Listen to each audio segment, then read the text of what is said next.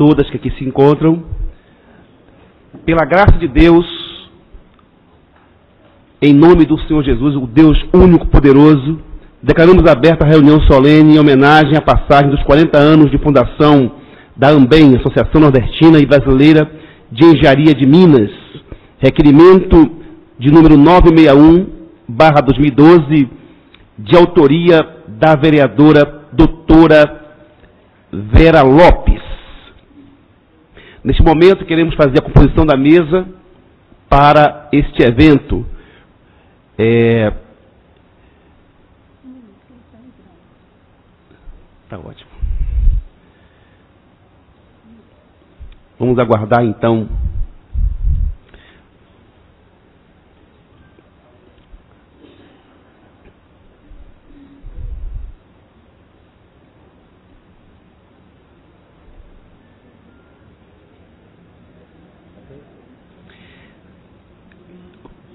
como falávamos há pouco, para formarmos então a mesa para esse evento, quero chamar o senhor Marcos Roberto Marrom, fundador da Ambem.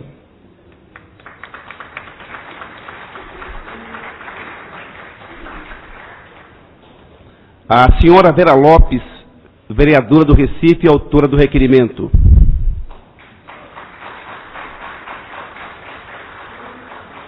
Também o senhor Marcos Holanda, superintendente do DNPM, Departamento Nacional de Produção Mineral.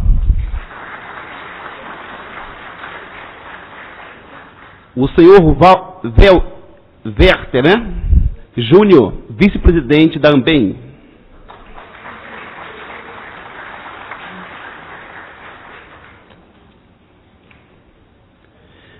É, neste momento, é, eu convoco a vereadora doutora Vera Lopes. Mas, não, antes disso, primeiro buscar a pessoa. Tá?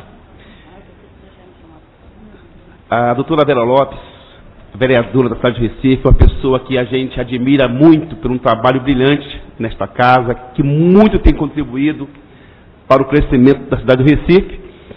É, convoco para juntamente com o cerimonial é, trazer a esse plenário o homenageado do dia.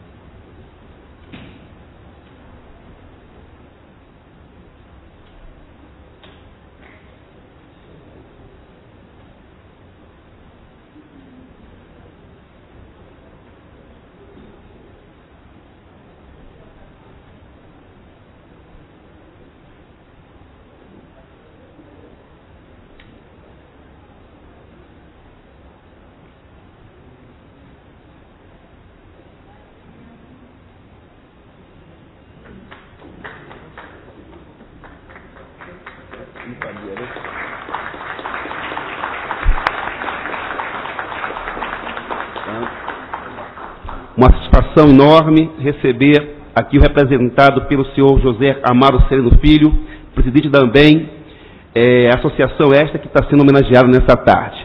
Eu convoco a todos para que de pé possamos então ouvir o hino nacional brasileiro.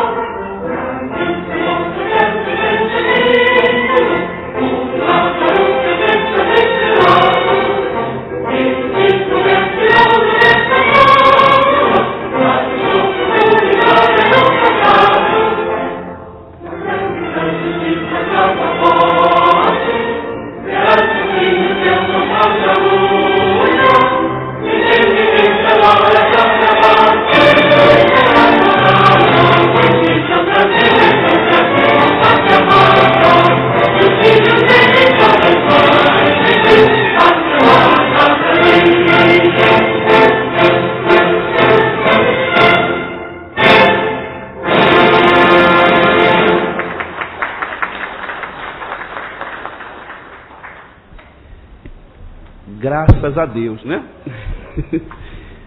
Neste momento, é, convocamos a excelentíssima senhora vereadora Vera Lopes, autora do requerimento, para que faça o seu discurso em nome da Casa José Mariano, a homenageada desse dia.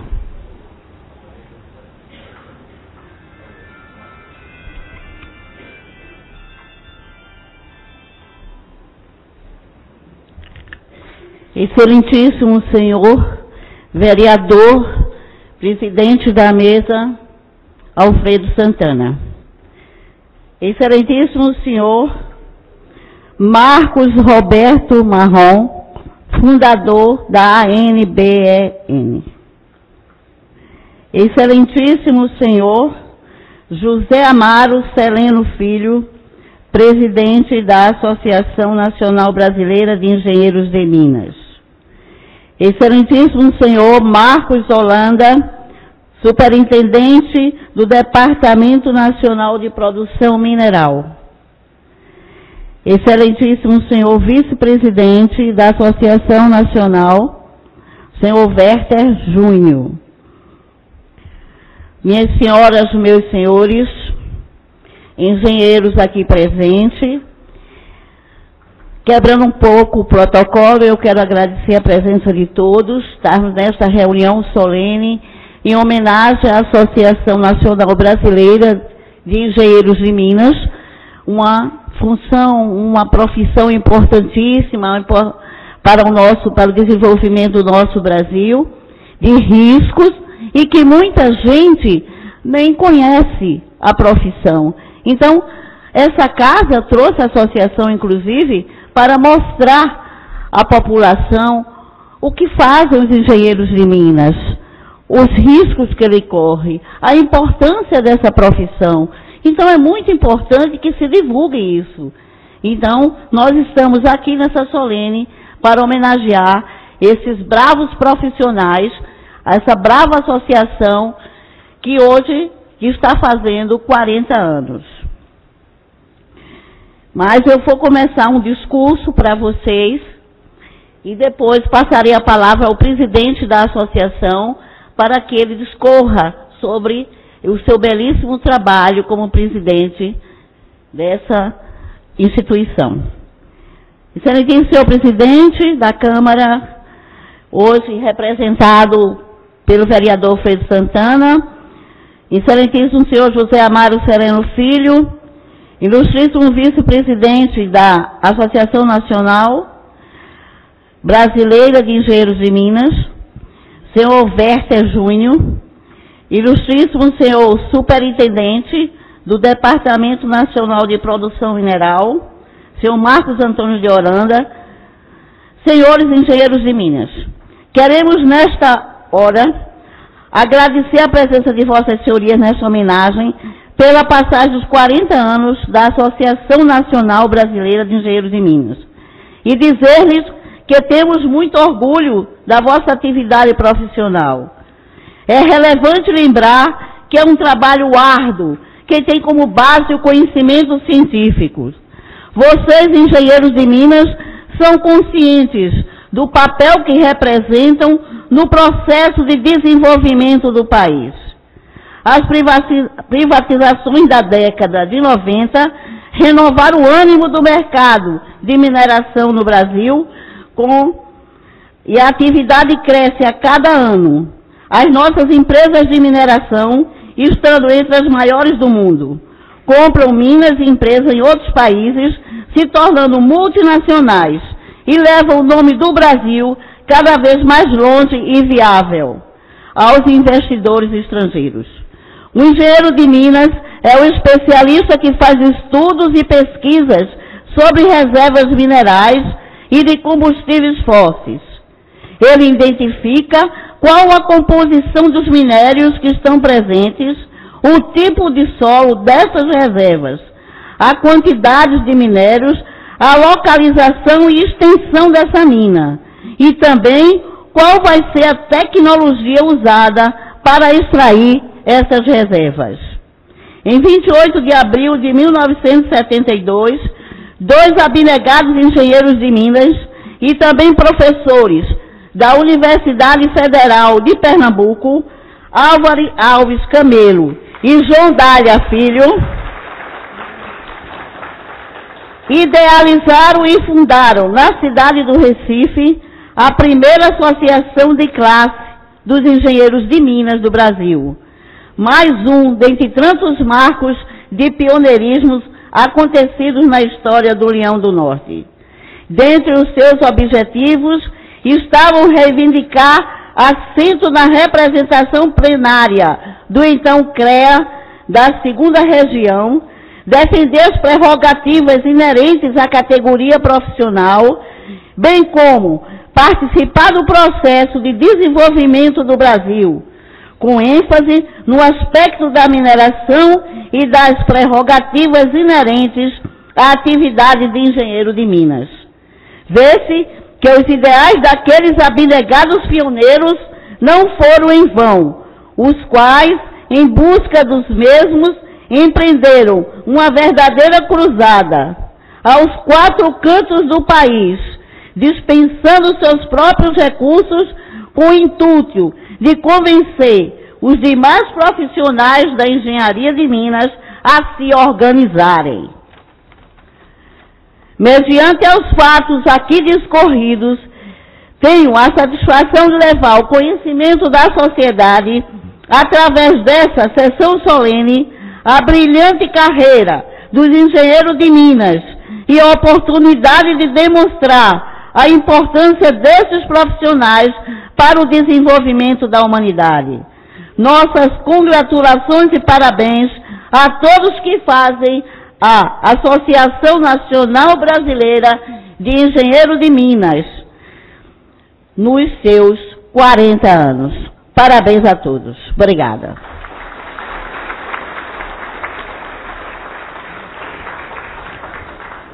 Muito obrigado, doutora Bela Lopes, vereadora da cidade do Recife. E nesse momento, nós gostaríamos que a mesma, representando a casa José Mariano, que é a casa, em nome de uma pessoa que muito lutou pela sociedade, pelo bem da sociedade recifense, pernambucana como um todo, e para que haja mais igualdade no meio do nosso povo. Nada mais do que justo apresentar uma placa em homenagem à estimada instituição.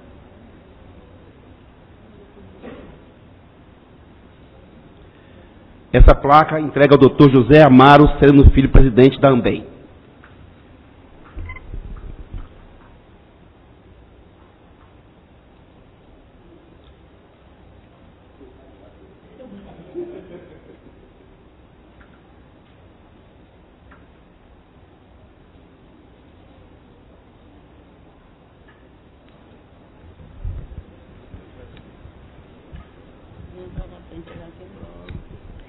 A Câmara Municipal do Recife, por iniciativa da vereadora doutora Vera Lopes, tem a honra de homenagear a Associação Nordestina Brasileira dos Engenheiros de Minas, pelos 40 anos de fundação. Doutora Vera Lopes, vereadora do Recife, Recife, 3 de maio de 2012.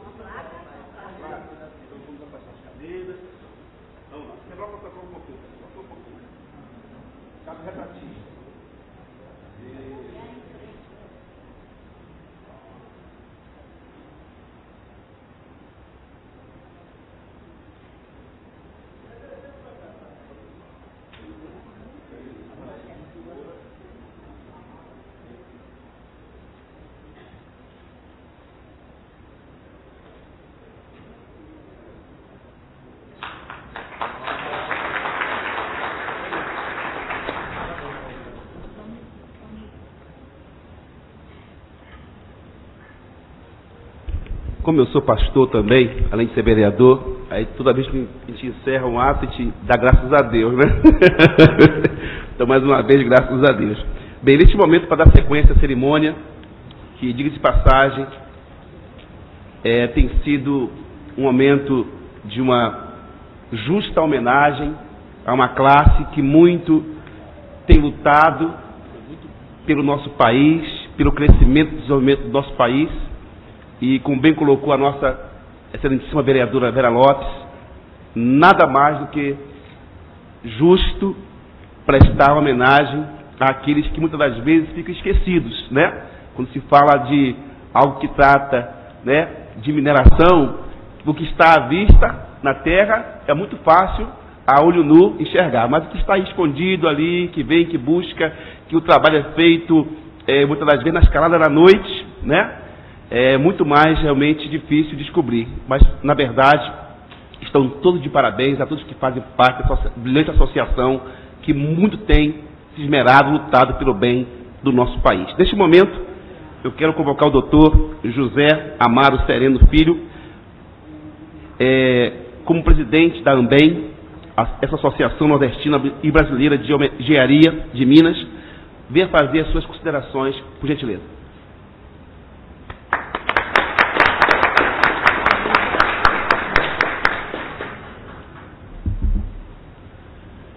Excelentíssimo senhor presidente da Câmara Municipal, nesse ato representada pelo senhor vereador Alfredo Santana.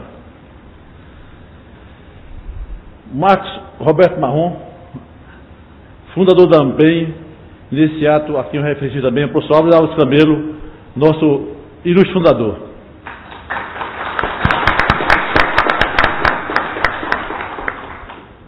Meu colega de diretoria, Werther Júnior, vice-presidente da AMBEM. Doutor Marco Holanda,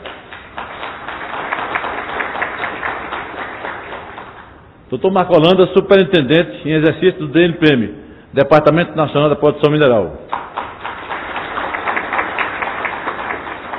E a doutora Vera Lopes, vereadora do Recife e autora do requerimento.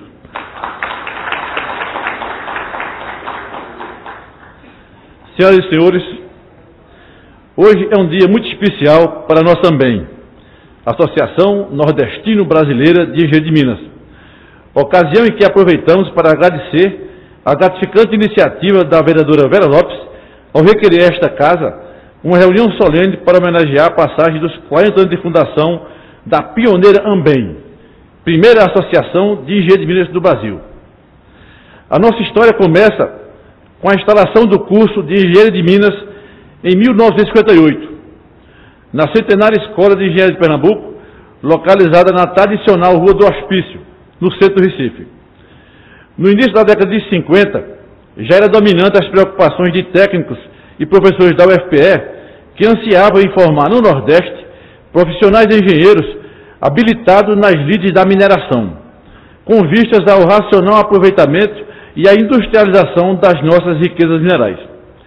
É fato marcante nesse contexto o reconhecimento da capacidade de liderança do eminente homem público pernambucano senador da República e engenheiro de Minas, José Hermílio de Moraes, graduado pela Colorado School of Mines, com decisivas ações na área política, e ao professor Paulo José Duarte, engenheiro químico, com papel preponderante na UFPE, que obteve a pronta, a pronta adesão dos engenheiros de Minas e professores Francisco Moacir de Vasconcelos, João Batista de Vasconcelos Dias, José Lino de Melo Júnior, e Francisco das Chagas Pinto Coelho, que constituiu na época a vanguarda e os símbolos. Após a implantação do curso de Engenharia de Minas e a graduação das primeiras turmas, surgiram a necessidade de divulgação do novo ramo da engenharia nos colégios secundaristas, bem como da criação de mais espaço no mercado de trabalho para que os profissionais formados em Pernambuco.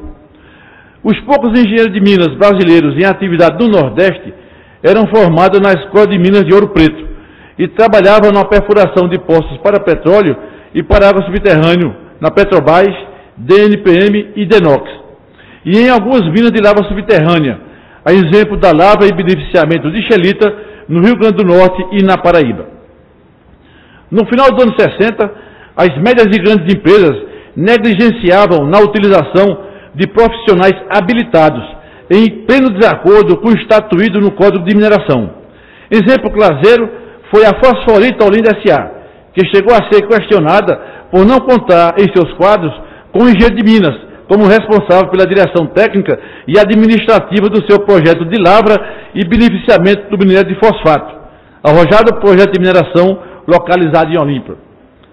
Em decorrência dessa resistência, os engenheiros de Minas e também professores da UFPE, Álvaro Alves Camelo aqui presente, e João Dálio Filha, em memória, se reuniram e idealizaram a primeira associação de classe dos engenheiros de Minas do Brasil. Esta associação pleitearia uma representação no plenário do CREA da segunda região, hoje CREA Pernambuco. E assim poderia não somente fazer valer as prerrogativas inerentes à nossa categoria profissional, como seria sua representante formal nas discussões sobre o desenvolvimento da mineração e da engenharia de Minas em particular. O período que compreende o final da década de 60 até o fim da, da década de 70 foi de extrema importância para a profissão.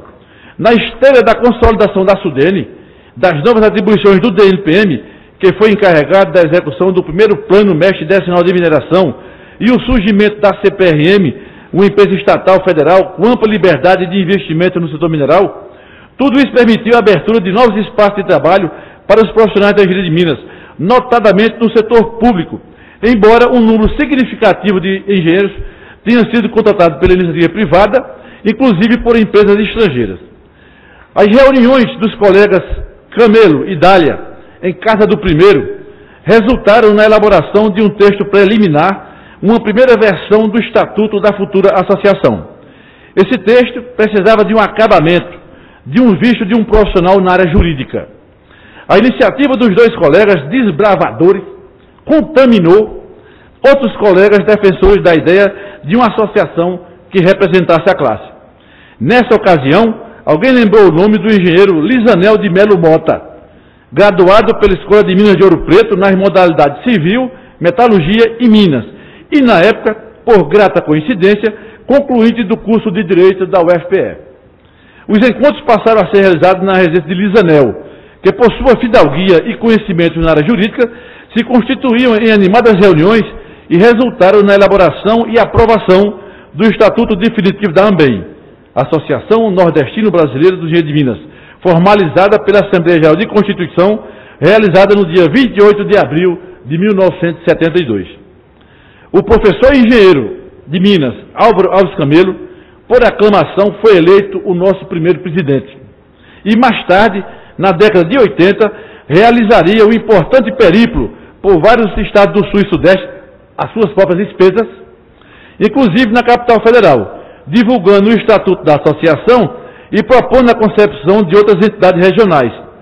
Este trabalho culminou com a criação de várias entidades ao longo deste Brasil continental e, posteriormente, com a criação da FAEM, Federação das Associações de Engenheiros Minas do Brasil. Pelos relevantes serviços prestados e pela ação pioneira e desbravadora, resolveu a atual diretoria da AMBEM prestar uma homenagem de forma permanente aos dois principais sócios fundadores da AMBEM, instituindo em reunião ocorrida no dia 19 de abril de 2012 a medalha de honra ao mérito AMBEM, sócios fundadores Álvaro Alves Camelo e João Dália Filho, a ser otorgada anualmente, sempre na data de aniversário da AMBEM, a uma personalidade de destaque no setor mineral. Essa medalha marca a passagem dos 40 anos de fundação da AMBEM e homenageia e eterniza dois dos seus principais fundadores. A primeira personalidade a ser laureada com a medalha de honra ao mérito AMBEM, sócios fundadores Álvaro Alves Camelo e João Dália Filho, foi escolhido por unanimidade e torna essa data ainda mais especial no momento em que temos a oportunidade de homenagear um profissional de caráter ilibado como colega Marcos Antônio de Holanda Tavares. Pessoa amiga, extremamente competente, dotado de um extraordinário senso de profissionalismo, grande conhecimento sobre a questão mineral, em especial nos assuntos jurídicos, respeitado nacionalmente, sempre disponível e usando os seus conhecimentos com simplicidade e sempre procurando ajudar a todos.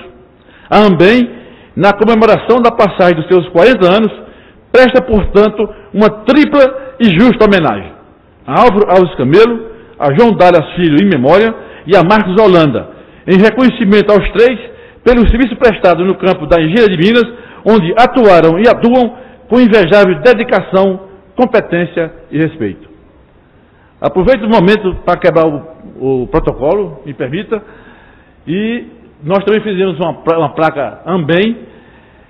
Se o professor Camelo não puder vir até aqui, Marco vai até lá.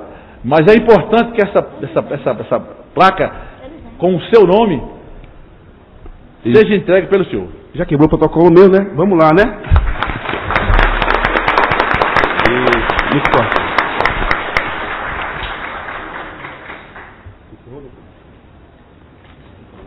Ele vai embora.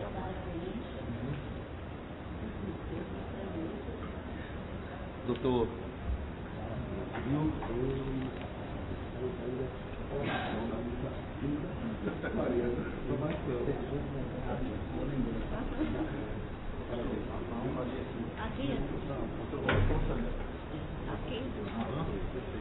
Aqui. Né?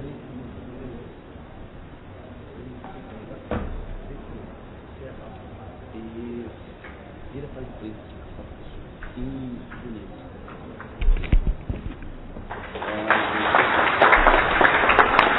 Leia a placa. Leia. Deixa ele ler a placa. Deixa eu ver os dizeres da placa.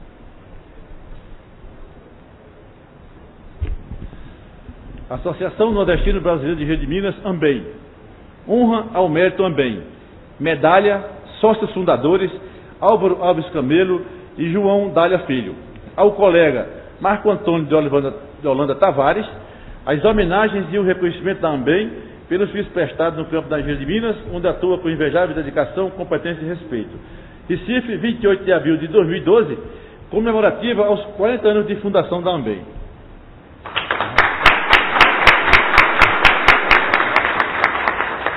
Ele vai dar a placa, né? Pra ele. É a dupla de dois aí, viu?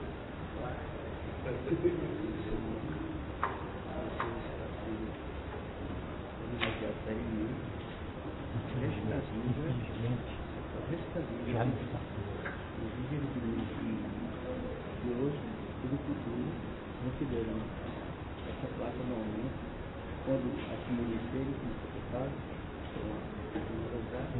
mas essa homenagem fica sendo para sempre, e todos os engenheiros novos, prefeitos, vão receber, quando nós que fizermos aqui, estarão recebendo o seu instante de eternidade, que se vão dar, se eles quiserem. Eu faço a pergunta à viúva de Goiás. Da resposta.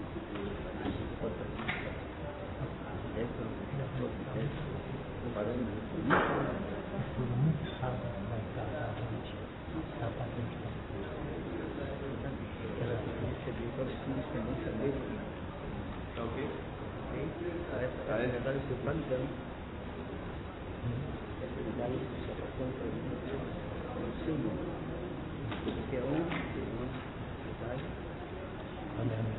Essa daqui, essa, essa comenda, né? Da dona essa comenda.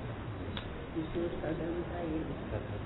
Entendeu? O senhor está sendo homenageado. Eu senhor, como fundador, está dando superintendente. Entendeu? E eu tenho até a graça de receber Fundador. Sem, vocês, não seria o que é. Trabalho Mais dedicado, né? Sonhador que é um ir para soldar um solo. Espero já ter o jabá. pelo objetivo em que você dirige a casa, Quer falar? casa do departamento da Educação, passar a formar pessoas importantes. O nosso sempre mestre, No competente, nunca esqueci, o Aquiles Olha,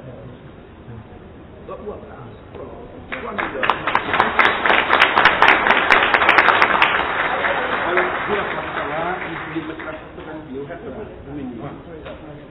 foto lá todo mundo, os meninos. Assim, né? E... Mais um pouquinho para o rosto. o rosto do menino.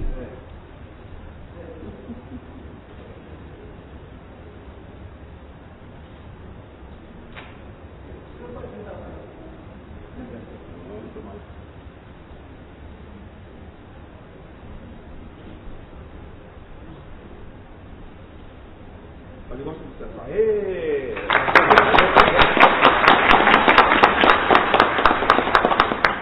Tá vendo como tá, tá bem informal. Tá certo. Vamos lá. Agora. Não, eu vou deixar Viu? É, é, Viu? Pronto. E para aqui abrilhantar mais essa festa bonita, eu quero relacionar aqui os telegramas de deputados estaduais que não puderam estar presentes, mas que prestigiaram com é, os seus telegramas, né? O excelentíssimo senhor presidente da Assembleia Legislativa, doutor Guilherme Uchoa, enviou aqui o, o telegrama, também o deputado Luiz Lessa, assim como também o deputado estadual Antônio Moraes.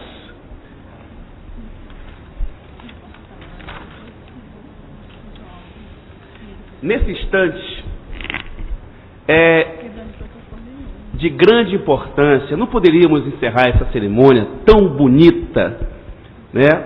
E de tamanha envergadura para nós recifenses, né? Nós recifenses porque, embora tenha nascido na Bahia e o povo recifense nos deu um título de vereador, é, me considero já recifense, não somente por ser vereador, mas por amar essa terra, um povo maravilhoso. E a gente sabe a importância que a Ambem tem nos seus 40 anos de existência. A gente olha para o Recife vertical, a gente sabe que se não fosse o dedo dos engenheiros aqui, o que seria da nossa cidade, né? Hoje tiver a cidade crescendo a cada dia. E nesse instante, para quebrar mais uma vez o protocolo, eu gostaria, doutor Álvaro, que o senhor, algumas palavrazinhas, tá? Pudesse, então, Álvaro é ele. Ele é Álvaro. é, exato. Acho que é aqui. Pronto, já que quebrou o protocolo mesmo, vamos liberar aqui para ele falar aqui mesmo, explicando sobre essa trajetória, né? Fica à vontade. Pode falar aqui. Ligou. Pronto, aqui, aqui mesmo. É com muita honra, com muita satisfação e alegria que neste momento, aqui perante a uma Assembleia distinta, eu estou sendo homenageado juntamente com meu amigo João Dália Filho, que infelizmente não está conosco. Fizemos o primeiro estatuto e o único lá em casa, todos os sábados à tarde, eu e João. Depois de ser aprovado pela Assembleia, eu fui indicado para ser o representante da AMBEM no CREA, onde eu passei quatro anos como representante da AMBEM. A engenharia de Minas para mim foi realmente uma satisfação e uma realização muito grande. Porque, apesar de ter sido, em 1952, graduado como engenheiro civil e depois em 58 como engenheiro de Minas, quero dizer sem vaidade absolutamente nenhuma que o curso de engenharia de Minas nasceu em 1900. A ideia nasceu em 1988, quando Recife era sede do Congresso Brasileiro de Geologia. Foi neste período em que eu, conhecendo os engenheiros de Minas que lá estavam, então, principalmente o professor e o engenheiro de Minas Francisco Moacir Vasconcelos, que eu considero um dos maiores engenheiros de Minas que o Brasil já teve, foi nessa, nesse período em que ficou é, determinado e aprovado a fundação da primeira Associação Brasileira de Engenheiros de Minas e a, e a segunda, portanto, coube ao Rio Grande do Sul. Eu estou muito alegre, muito satisfeito e, e digo até, eu nem sei se sou merecido de uma homenagem dessa. Não sei. Eu acho que aqueles que estão que estão me apreciando, que estão é que sabe se há verdadeiramente motivo para que esta homenagem seja efetivada. Então, fico aqui o meu muito obrigado e sempre pensando cada vez mais, cada dia mais, estudando também cada vez mais, cada dia mais a engenharia de Minas. Fui nomeado pelo reitor da nossa universidade, professor assistente do professor Moacir Vasconcelos, da cadeira de pesquisa mineral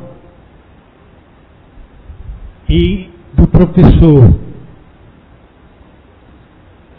Ivan Loureiro, das cadeiras de pesquisa mineral, de, de geologia econômica onde depois assumi a titularidade das duas cadeiras até o tempo de me aposentar.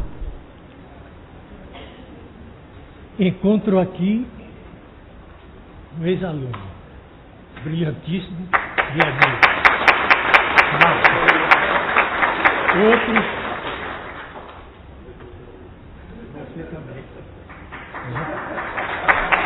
são muitos, são muitos, todos eles se tornaram amigos meus e eu amigos amigo deles. São pessoas extraordinárias, não só como competentes engenheiros de Minas, o nosso amigo, que hoje é superintendente. Hein?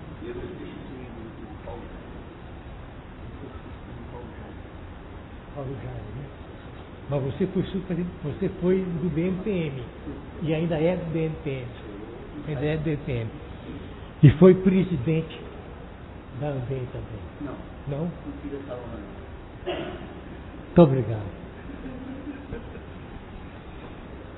Bem, o estatuto foi, foi analisado com toda fidelidade, com toda exigência, e depois de ser aprovado, e também ser aprovada também, veio o Rio Grande do Sul, a Escola de Engenharia de Minas do Rio Grande do Sul, at através da escola, então foi é, inaugurado a segunda Sociedade de Engenheiros de Minas do Brasil. Hoje, em cada estado que contém, que tem na universidade o curso de Engenharia de Minas, tem também uma associação de engenheiros de Minas. Fazemos sempre congresso, a atuação é muito efetiva e, na verdade, eu estou um pouco afastado um pouco afastado, mais pela idade, né? Mas é uma glória, é um prazer e uma satisfação muito grande que eu tenho estar aqui recebendo essa placa, que para mim será eterna. Não tem a menor dúvida. Eu não sei, eu não sei se mereço isso. Mas é uma grande homenagem que eu, que eu recebo.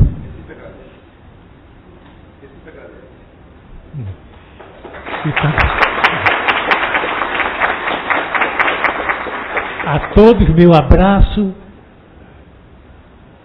e a minha satisfação de tê-los aqui nessa homenagem prestada a mim. E eu estou aqui pronto para qualquer pergunta, para qualquer qualquer Pergunta que for necessária, que, que alguém quiser fazer. Muito obrigado e até outra oportunidade.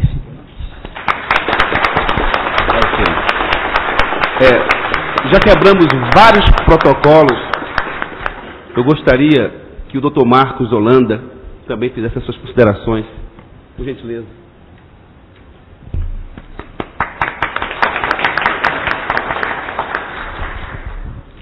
Eu vou tentar agradecer rapidamente.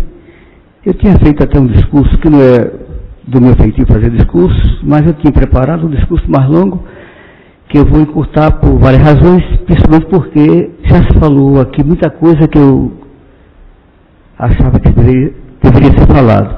A saga do professor Camelo e professor Zondália, a importância da engenharia de Minas, do engenheiro de Minas para a sociedade, que nem sempre é percebida, eu acrescentaria apenas é, a, essa, esse trabalho do engenheiro de Minas, da engenharia de Minas, eu acrescentaria que esse trabalho é feito de mãos dadas com os geólogos, com a geologia. Nós temos representantes aqui presentes. Eu gostaria que vocês é, aplaudissem os poucos geólogos, mas os geólogos que estão aqui.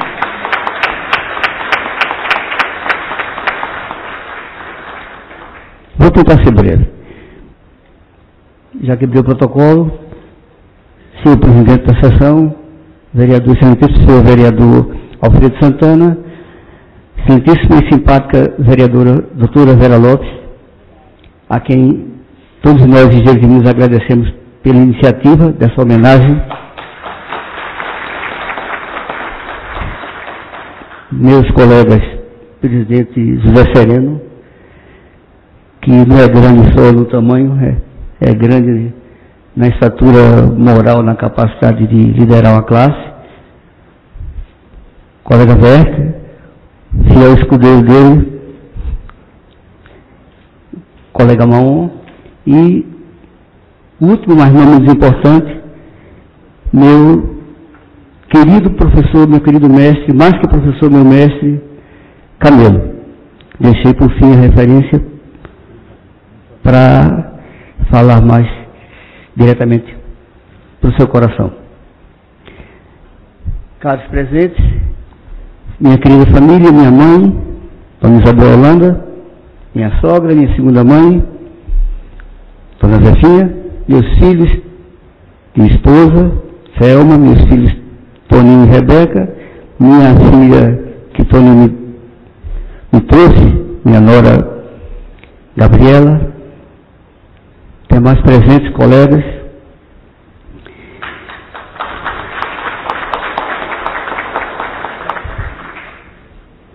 Só os poetas conseguem traduzir bem sentimentos marcantes. Eu não consigo expressar exatamente meu estado de alma por ter sido pensado dentre tantos que seguramente merecem essa distinção. Recebo-a como se recebe um belo gesto de homens de boa vontade Recebo, inclusive, em nome dos meus colegas do DNPM, Pernambuco. Tenho a consciência de que recebi diretamente do coração dos meus pares, engenheiros de Minas. O que para mim não significa menos, muito pelo contrário. É de Tolstói a frase: No coração do homem é que reside o princípio e o fim de tudo.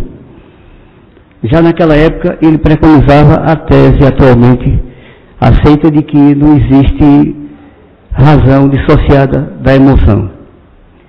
Cervantes, provavelmente o maior escritor que a humanidade já teve, eu acho que foi o maior, era um grande sábio. E ele disse: o louvor vale pela pessoa que o dá. Outra frase que cai bem nesse momento é de Erasmo de Roterdã.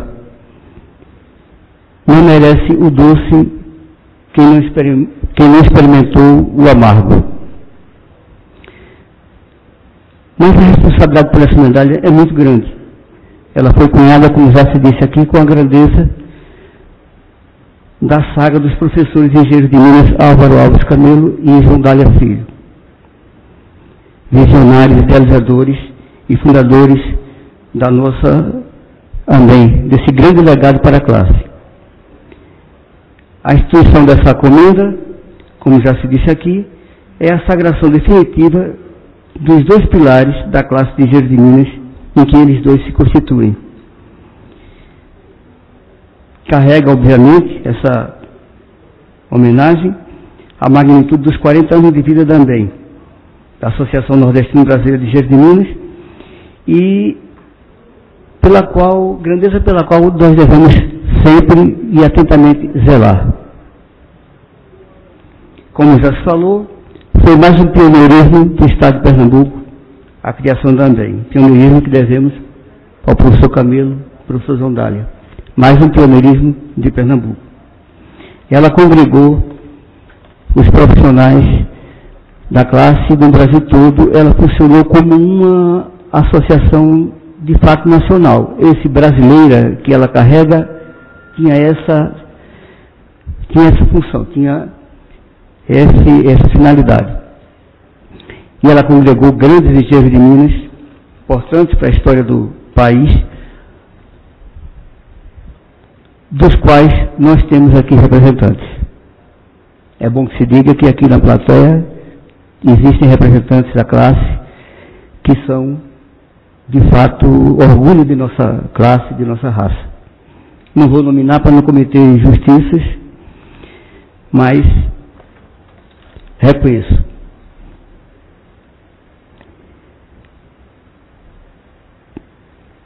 Eu vou ter que falar do professor Camilo do professor Vandália. Eu me orgulho e registro a felicidade de tê-los tido como mestres. O saudoso professor Vandália ensinou-me a disciplina de Minas, por seis meses apenas, mas deixou-me máximas que me valem pelo resto da vida profissional. E amenidades também. Dizia o professor Dália que Lava de Minas era técnica, mas antes de tudo era bom senso. Ou seja, não pode existir engenheiro como não pode existir seu, ser humano sem bom senso. Alertava também que trabalhando em uma perdida nos confins do mundo, teríamos que ser, além de engenheiro de minas, engenheiro civil, mecânico, eletricista, químico e até médico obstetra. Pois seríamos o único doutor à disposição das redondezas. E aquela época não deixava ele de ter razão. Era o mestre em figura. Aconteceu de colegas nossos, ou um colega nosso, ser acordado na madrugada para fazer um parto. Porque era doutor e ele tinha que se virar, e eu era engenheiro. Professor Camelo, eu não tive a sorte de tê-lo como professor regular na UFPE, ensinando aquelas cadeiras que ele ministrava de economia mineral, de pesquisa mineral. Mas foi para mim mais que um mestre precioso pelos ensinamentos e experiências transmitidos por ocasião de nossas muitas conversas em suas passagens pelo DNPM Pernambuco e em reuniões também. Para minha sorte, ele gostava de conversar comigo. Gostava. Nós conversávamos muito, e eu gostava muito de conversar com o professor Camilo. E sempre me chamou a atenção a profundidade dos conhecimentos técnicos que ele demonstra, que ele tem e o vasto leque de conhecimentos nas mais diversas áreas, além da larga e múltipla vivência profissional. É uma pessoa de conversa agradável e enriquecedora.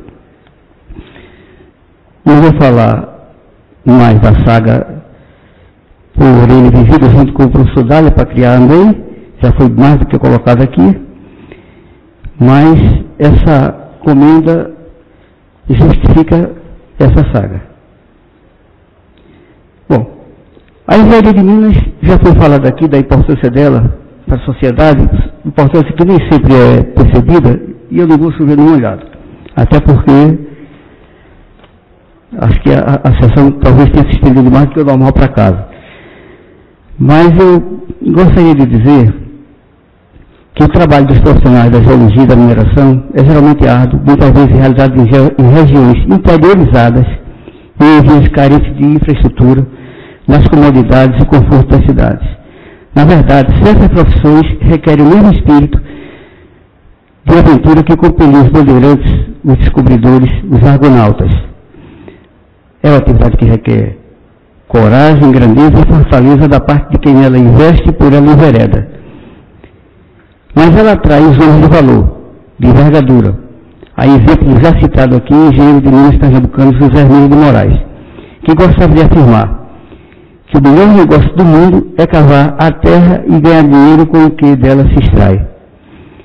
Essa tirada de, José Hermínio de Moraes, eu acho que pouca gente sabia dela, porque eu ouvi do interlocutor, interlocutor privilegiado dele. O compositor dos jingles das campanhas dele para senador. Walter Heráclito. Confesso meu sadio e justificado orgulho de pertencer à classe dos engenheiros de Minas, e ter abraçado como profissão a engenharia de Minas, a mais politécnica das engenharias, que apresenta interface com praticamente todas as outras modalidades. Orgulho-me de fazer parte de um grupo que conta com tantos grandes. E para homenagear a classe, gostaria de citar alguns engenheiros de Minas célebres do passado, claro, que merecem nossa reverência e, e admiração. Pouca gente fora, e mesmo dentro do setor mineral, sabe que foram de Minas as seguintes figuras. Aqui no Brasil, o já citado José Hermínio de Moraes, que viveu de 1900 a 1973, pernambucano de Aliança, Pernambuco, patriarca do Grupo Votorantim e que foi senador pelo nosso Estado, e sobre cujas realizações faz necessário discorrer. João Podiá Calógeras, que viveu de 1870 a 1934, que não se limitou a ser grande em sua profissão de engenheiro de Minas, foi mentor da lei que levou o seu nome e que inspirou todas as constituições desde então, no que se refere à política dos recursos minerais, estabelecendo a distinção entre solo e subsolo. Foi o primeiro civil a ocupar o Ministério da Guerra. Foi destacado ministro de várias outras partes, agricultura, indústria e comércio, fazenda, com gestões exemplares, modernizadoras e saneadoras nos governos de Venceslau, Braz e Epitácio Pessoa. Miguel Arrojado Ribeiro Lisboa, Viveu de 1872 a 1932. Além da atuação destacada na localização dos recursos minerais do Nordeste, desenvolveu ações intensas no combate às secas da região, ao ponto de várias cidades nordestinas terem ruas com seu nome.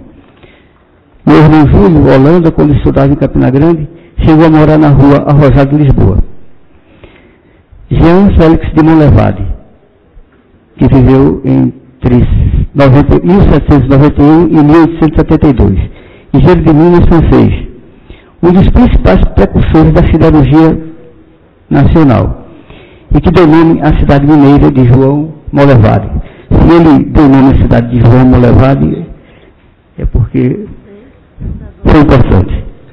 No exterior, eu citaria mais cinco grandes exemplos de engenheiros de Minas. O meu preferido Georges Lemaitre. Georges Lemaitre era engenheiro de Minas e padre, belga. Foi o pioneiro da ideia do Big Bang, a teoria do Big Bang, que foi posteriormente desenvolvida por George Gamow. Previa ainda a expansão do universo, depois confirmada por Edwin Hubble, o que deu nome ao famoso telescópio orbital. Trabalhou ainda com o célebre astrônomo Eddington, um astrônomo inglês que atuava no, Instituto de Tecnologia de Massachusetts. E George Lemaitre chegou a trocar ideias com Einstein sobre a teoria da relatividade. Emmanuel Swedenborg viveu de 1688 a 1772. Engenheiro de Minas sueco, grande autoridade em física e astronomia. influenciou ninguém menos que Abraham Lincoln, o escritor e filósofo William Blake, o teólogo Jean Oberlin e até o poeta argentino Roger Luiz Borges, além de outros que eram familiarizados com suas obras, a exemplo de cientistas, filósofos, poetas e escritores da envergadura de Immanuel Kant, Carlos Linnaeus, John Wesley, Goethe, Rousseau, Baudelaire e Voltaire. Outro exemplo, Henri Fayol, que viveu de 1841 a 1925, engenheiro de Minas, de origem francesa, criador junto com Taylor, outro engenheiro civil, criador da ciência da administração. Pois é, a ciência da administração e a administração como ciência deve ao engenheiro de Minas Henri Fayol. Benoit Paul-Émile Clapeyron, 1799 a 1864, francês, fundador da termodinâmica. É aquele da famosa lei de Clapeyron, entre outras leis da citada matéria. Era engenheiro de Minas. Pedro Guilherme Frederic Leplé, engenheiro de Minas francês que enveredou pela sociologia. Por sua tendência de aplicar a tudo os processos da investigação científica, destacou-se dentre os historiadores, os filósofos e os próprios literatos da época, Balzac, Stendhal, Saint-Beuve, Ernest Renan, Alexis de Tocqueville e Hippolyte Taine. Haver um traço comum a ligar os célebres exemplos citados de Gênesis de Minas. Esse traço deve ser característica da profissão, de um pensar voltado para as origens, para as raízes, para o que é basilar, ponto de partida para outros pensares e trabalhos. Exatamente como é a engenharia de Minas, que de mãos dadas com a geologia é ponto de partida para tudo que se constrói e produz para a humanidade. Eu queria finalizar agradecendo a Associação dos Engenheiros de Minas, na, na pessoa do nosso presidente, que está bem cercado, no sentido, por pessoas de envergadura, de competência e principalmente pessoas de caráter, de honradez, pessoas de seriedade. E não adianta você ter competência, você ter todas as condições, é, todos os conhecimentos, se você não tiver o norte da observância dos princípios e do respeito. E o Sereno está muito bem assessorado por Werther, que é um uma pessoa, eu sou até suspeito a falar sobre ele, né? é meu amigo, o Maviael, eu conheço, eu conheço o caráter de Maviael e há muito tempo, eu acho até que eu fui culpado dele fazer engenharia de Minas. É uma pessoa que tem uma rigidez de observância dos princípios e tal, é um caráter a toda prova. Estou falando exatamente da diretoria também que são os companheiros de, de nessa diretoria da nossa associação. Massal, meu colega do científico, desse científico que nós trilhamos juntos, mas antes de ser meu amigo, ser meu colega de científico, é uma pessoa que consegue aliar a brandura a uma firmeza que pouca gente consegue notar. Ele consegue brandir uma firmeza necessária, mas com o amortecimento da brandura do, da, do fino trato. Tem. Eu estou me esquecendo. Não, Nilson. Eu estava procurando o, o, nosso jovem Nilson aí. Não é promissor não, porque ele já é uma realidade. É o tesoureiro também. Filho de um grande engenheiro de Minas, muito querido. Seu pai, com certeza, está muito orgulhoso de ter um, um filho que é o engenheiro de Minas que é que é, já é referência para a classe, e ele deve estar mais orgulhoso ainda pelo caráter que você, que você tem, a personalidade que você é. Né? Foi estagiário nosso lá, é um dos motivos de orgulho nosso. Bom, não estão presentes aqui, mas tem a Cássia, que é a presença feminina na associação, muito bem pensado, colocar a mulher numa profissão marcadamente de homens, tem João Afonso, que não é da associação, mas é como, não é da diretoria, mas é como se fosse, que é outra pessoa também, uma pessoa de palavra taxativa, uma pessoa de, de, de atitudes firmes, o Alberto Moreira, que, tá, que é da, do Conselho Fiscal, mas já começou esta diretoria, dá um apoio muito grande, é uma pessoa também de firmeza de caráter, e você tem tudo para dar certo pela segunda vez, até porque você soube escolher bem a sua equipe. Obrigado. Muito obrigado, doutor. Lembrei de um pregador chamado Saul de Tarso, que pregou tanto, falou tanto, que teve um rapaz que dormiu e morreu, né? Caiu e em seguida ele ressuscitou. Mas parabéns. Mas tem mais um aqui. Os meninos estão soltos hoje. Os meninos estão felizes, se reencontraram, estão aqui matando a saudade, né?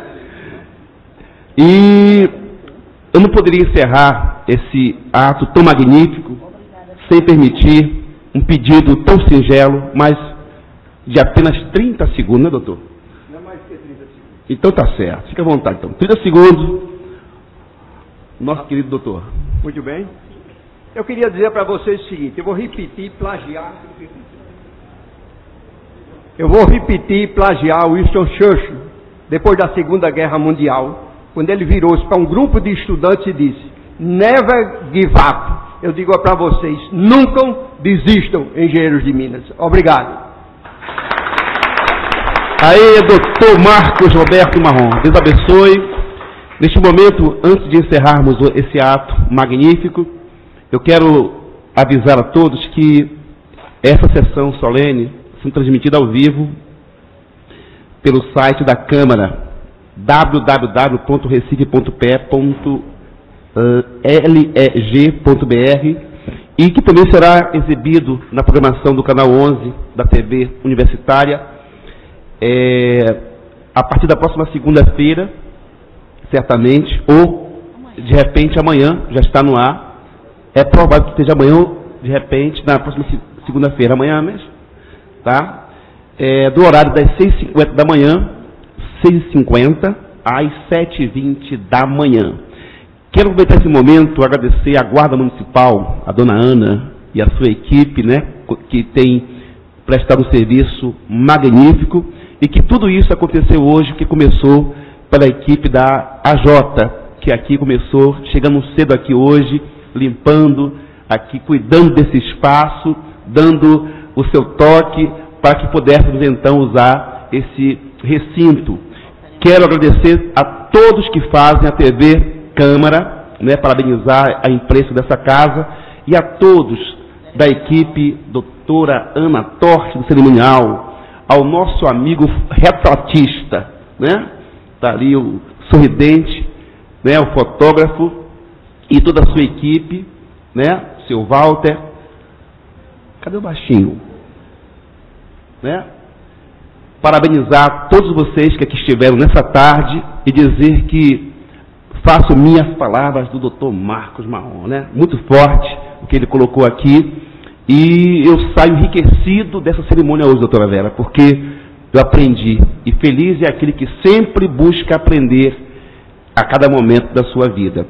Quero aqui encerrar esse ato agradecendo a Deus por tudo que aconteceu de maravilhoso nessa tarde e convidar a todos para uma recepção aqui no nosso é, salão de festas aqui no primeiro andar. Deus abençoe a todos. Declaro então encerrada essa cerimônia.